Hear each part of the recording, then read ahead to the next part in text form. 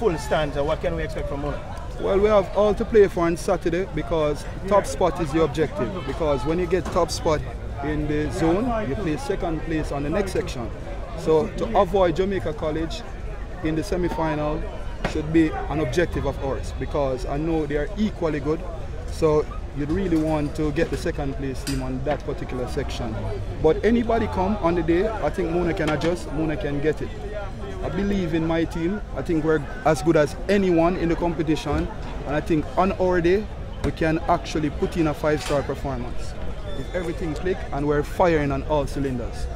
Coach, the faithful of St. Andrew Technical might have an issue with that statement that you just made. Uh, well, St. Andrew. Well, are you are you predicting that Jay's stats have already lost on the weekend? Well, I'm not making any predictions really. I say anybody come, Mona is ready. So if we get St. George's, if no, if we get Jamaica College, if we get St. Andrew Technical and the next section, whoever come, Mona is actually ready for them. We're not actually trying to avoid anybody at this stage. So anybody come, I think Mona can ad adapt and adjust. And tactically, I think we're miles ahead of the of the field. So we can adjust to anyone, actually. All right. Let's give me sorry, let's give me a name for the record, please. Winston Taylor.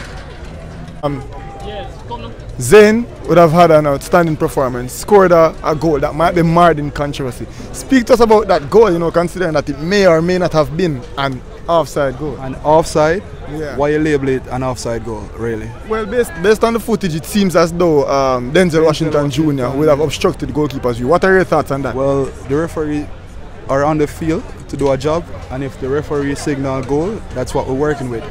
Since the commencement of the second round, I think quite a few calls have been going against Mona High School.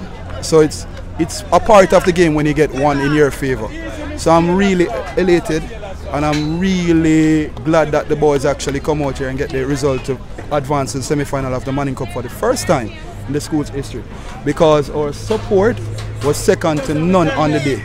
And early up in the season, they actually questioned if Mona could full Stadium East. I think if you really take a look in the stands, the amount of Mona, Mona students you saw today, it was really good in terms of crowd support.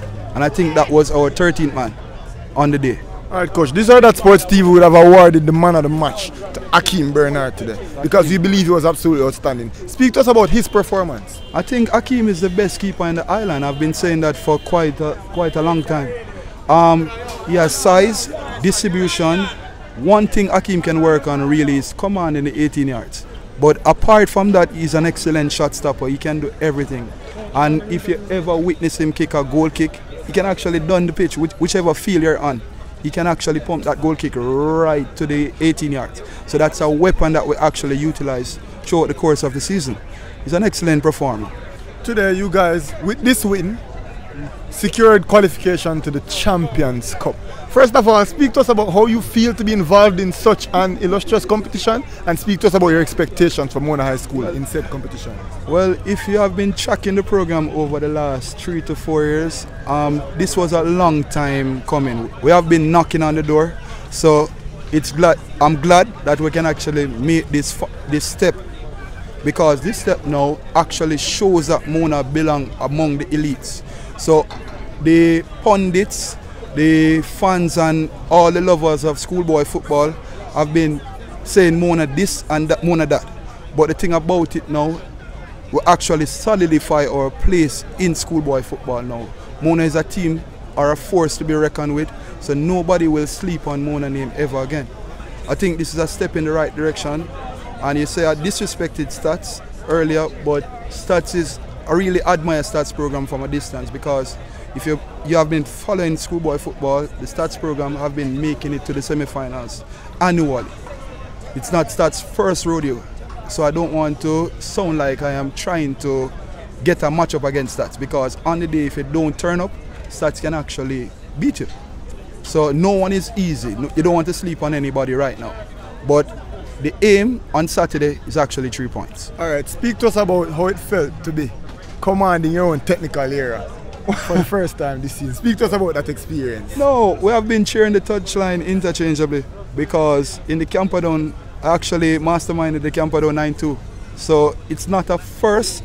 And on Saturday, um, Craig got the red card when it was 2 0. Yeah. So that was actually a taste. So it's, this wasn't my f- actual first taste of the touchline. And I've been manning the touchline in U16. I've, I'm a former Manning Cup coach. So it's not my first rodeo with Mona. All right, coach. Thank you so much for talking to us today. Yeah. Congratulations Of again. course, man.